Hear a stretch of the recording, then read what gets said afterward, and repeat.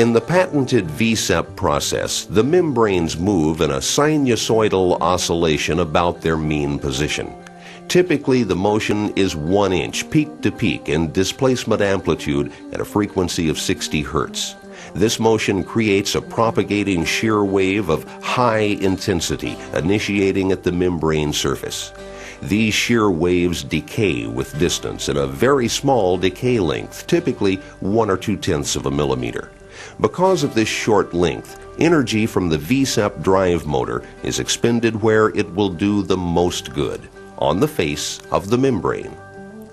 Typical engineered performance values are 1 to 200,000 inverse seconds with a power input of 10 horsepower per 300 square feet of filter area. This is 10 times more shear than in conventional systems with less energy consumed. This ability to focus energy dissipation into a thin zone near